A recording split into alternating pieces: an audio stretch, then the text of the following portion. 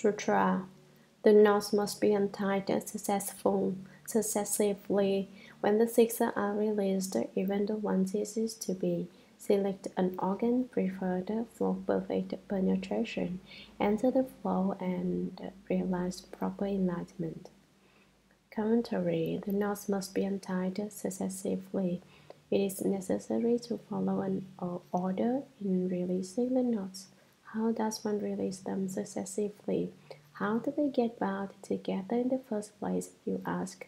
To begin with, the nature of the treasury of the Thus Come One is not subject to production and extinction, but confusion takes on the aspect of emptiness. Delusion and obscurity make emptiness. At that point, ignorance arises. Therefore, although the nature of the treasury of the Thus Come One is neither produced nor destroyed, relying on truth, a falseness arises, and with it the mind, subject to production and extinction, a consciousness. This consciousness divides into the sixth, seventh, and eighth consciousnesses. But the source of the eighth consciousness, which is founded on ignorance that creates production and extinction is the nature of the treasury of the Thus Come One, which is not subject to production or extinction. Its source is the pure nature and bright substance of the eternal true mind. Relying, relying in relying on truth and falseness arises the treasury of the Thus Come One changes into the alaya consciousness, the eighth consciousness, also called the storehouse consciousness. The eighth consciousness is the basis for the existence of the five skandhas form, feeling, thought, activity, and consciousness. Starting with the skandha of consciousness, one progresses to the skandha of activity. This is the seventh consciousness, the manas consciousness, more Monashi, also called the transmitting consciousness, Transungshu. This consciousness transmits messages from the sixth consciousness to the eighth consciousness. It forms the activity skandha. The next skandha is that of thought. This is the sixth consciousness, the mind consciousness.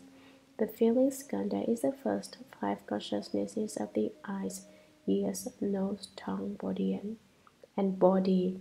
The skandhas of feeling, thought, activity, and consciousness correspond to one knot each. The form skandha counts as two knots because it is a quasar.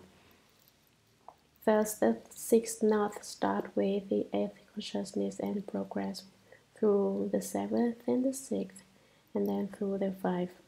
With the existence of the five skandhas, the five turbidities come into being, producing all kinds of obstructions. If we want to untie these knots, we must first stop tracing after the skandha of form. Once these two knots are broken open, then the other skandhas of feeling, thought, activity, and consciousness are released as well. The six knots are all untied.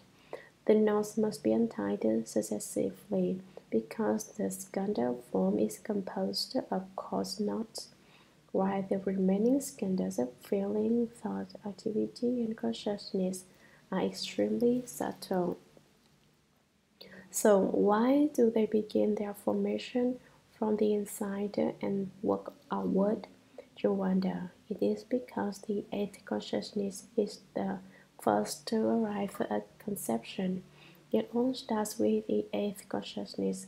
The five skandhas and the eighth consciousness become bound together. In the knot of birth and death, it starts with the eighth consciousness. You release it by starting with the form skandha, the process that can be likened to removing clothes. You take off an outer layer and an inner layer is revealed. In this way, you take off layer after layer until you have removed them all. Then the knot is untied. That's how it's explained, but actually, if you release one knot, the other five will disappear as well. The verse says, When the six are released, even the one ceases to be. When the six sense organs, the nerves are freed, the one disappears as well. This will, is, uh, will be explained in detail later in the text. Select organ preferred for perfect penetration. The method for cultivation is a blindly forthright at the entrance to the six organs.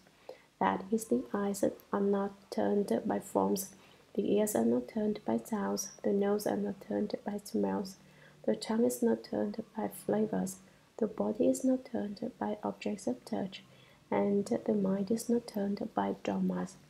You transform what takes place at the entrance to the six organs you return the light to illumine within. You do not seek outside. God and gather in your body and mind, seek within yourself.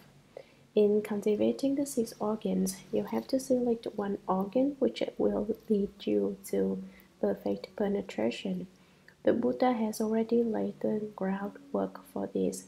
He discussed the efficacy of 1200 of each of the organs and told Ananda to see which organs were more complete. The eyes, for instance, are not complete, but the ears are. The tongue and the mitre are also complete organs. Three are complete and three are not.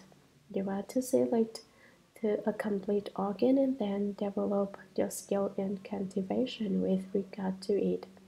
Shakyamuni Buddha has tacitly implied that the organ of the ear will lead to perfect penetration, but he was not come right out and said it. He wants Ananda to make his own selection. He wants him to figure it out for himself. Select an organ preferred for perfect penetration and enter the flow of realized proper enlightenment.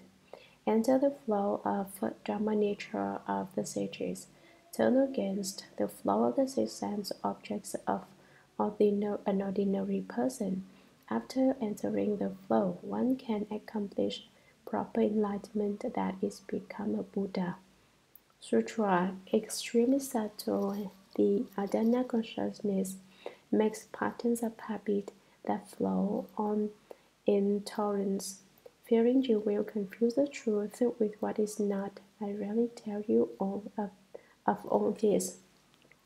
Commentary This is Dharma which Shakyamuni Buddha rarely speaks. I rarely tell you of all this. I don't ever like to explain this Dharma. Just imagine Shakyamuni Buddha rarely explained, this Dharma for the great Arhats, the great Bodhisattvas, and the great Bhikshus. And yet, how easily we have had the opportunity to hear this wonderful Dharma spoken by the Buddha. Extremely subtle, the Adana, Tuana consciousness. This is a very subtle consciousness, even more so than the eighth. The Adana is also called the pure consciousness. It is the seat of purity. This essentially fine and subtle consciousness makes patterns of habit that flow on in torrents. This is the source of our birth and death. As soon as falseness arises in the one truth of that subtle consciousness, one thought of ignorance, it turns into habits that come on like a torrent. Nothing will curtail them. Here, a torrent refers to our birth and death, being born and dying in birth and death again and again, sometimes as a person, sometimes an animal, sometimes born as a god, sometimes falling into the house, spinning ceaselessly, patterns of habit flow on in torrents. Fearing you will confuse the truth with what is not, I rarely tell you of all this. Why isn't the true Dharma taught about? Why don't I express the subtle wonder of the genuine Dharma for you. I'm afraid people will think that the true is false and that they will think what is really false is true. For example, you were determined to add bright to enlightenment. and by doing so, you just add confusion to confusion and become doubly deluded. Normally, I don't explain this wonderful Dharma. I speak the small vehicle doctrines for you small vehicle people. Genuine, wonderful Dharma of the Great Assembly is something you've never, I've never told you about before. I haven't done so because your pupil of the small vehicle still don't have the stature to hear it. You haven't turned from the small toward the great, so even when I wanted to explain it, I refrained. Sutra, with your own mind, you grasp your own mind. What is not illusory turns into illusion. If you don't grasp, there is no non illusion. If even non illusion does not arise, how can illusory dharmas be established? This is called the wonderful lotus flower, the regal vajra germ of enlightenment. Commentary with your mind. You grasp a drawn mind. Living beings do not understand that the division of seeing and the division of appearances are manifestations of the mind alone. The three realms come only from consciousness. The Maya Dharma spring only from the mind not understanding that all kinds are made from the mind alone, they become attached to the seeing division, that is to their own subjective viewpoint, their eighth consciousness. The appearance division refers to external objects. Basically, the division of seeing and the division of appearances are both empty and false.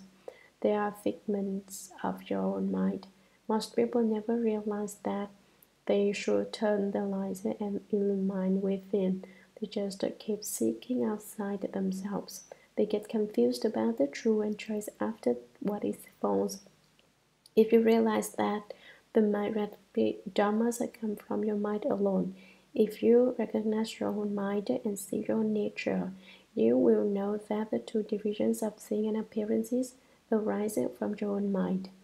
If you understand the bright substance and pure nature of your eternal true mind, you will not run outside but will return home. What is not illusory turns into illusion because living beings are confused about what is true and trace after what is false. They come to have doubts about what basically was not illusory and so becomes illusory. You must be able to not grasp at these illusory appearances. Not grasping at is the important point here. The reason most people are confused by the six sense organs and six sense objects is that they grasp at the two divisions of seeing and appearances. They become attached to the belief that their capacity to see is the division of seeing and that what they say really exists. They don't know what it is empty and false, it is illusory. If you don't grasp, there is no illusion. There isn't any non illusion. If even non illusion does not arise, what is not empty and false basically does not come into being. There is no place where it is produced. How can illusory dharmas be established? How can empty illusory dharma exist, they don't. This is called the wonderful lotus flower, wonderful and subtle. The lotus flower arises from the mud but is not defined by it. It grows in mud but is itself pure, and the flower and fruit appear simultaneously. It is the regal vajra gem of enlightenment. Vajra is the most durable and toughest substance. It represents wisdom. Nothing can destroy or break through genuine wisdom. Regal means free and easy as a king is. Gem of enlightenment refers to our true mind. If you can keep from grasping the two divisions of thing and appearances, if you can turn into the source, then you can return to the nature of the treasury of the Thus Come One by turning the consciousnesses into wisdom. Once the turning is accomplished, the two divisions turn into a wonderful lotus flowers, the gem of enlightenment. Sutra. In this Samapatti that is likened to illusion, transcend all study instantly. Commentary is also called by another name. Samapatti that is likened to illusion. Samapatti is a Sanskrit word which means holding equally. That is the equal meaning of the power of samadhi and the power of wisdom. With wisdom, you can untie the six knots. With samadhi, you will not create the six knots. In this samapatti, one should transcend all study instantly. Instantly is literally in a finger snap. In at all, one transcends the positions in which there is still study and arrives at the position of no further study. That is the fourth fruition of arhatship. The positions of the first, second, and third fruitions were where there is something left to study are transcend and are transcended in a finger snap, as one is certified to the fourth fruition, arhatship. Sutra this Abhidharma incomparable is a single pathway through Nirvana's gate, taken by Bhagavans in all the ten directions. Commentary This Abhidharma incomparable. Abhidharma translates as peerless. This refers to the kind of dharma. The method being discussed is the single pathway through Nirvana's gate. It is the unsurpassed profound, so untie the knots taken by Bhagavans in all the ten directions. Bhagavan is the transliterated pronunciation. Purchavan is found at the beginning of the fourth section of the Shurangama mantra. It is a universal name for the Buddha used by and recognized by Buddhas, spirits, and ghosts in referring to Buddhas. Here, Bhagavan is not translated because the, the original word includes six meanings. A translation can render only one meaning. The six meanings of Bhagavan are 1. Comfortable. The Buddha's nature is comfortable in the same way that the name contemplate in comfort given to Guanyin Bodhisattva means that he is a comfortable Bodhisattva. 2. Dazzling. This means describes the Buddha's light, which pervades the Dharma realm. 3. Decorous. Decorous. The Buddha is correct in his bearing and never lax or lazy. We should try to be the same. When you listen to sutras, you should sit in an appropriately respectful manner. Don't lounge or slouch or stretch out. It should be as if the Buddha himself were before you speaking the Dharma. Since we believe in the Buddha, we should show our respect to him. We don't be lazy right before the Buddha's eyes when, when listening to sutras you cannot lie down or go to sleep. You shouldn't lie down when reading sutras either.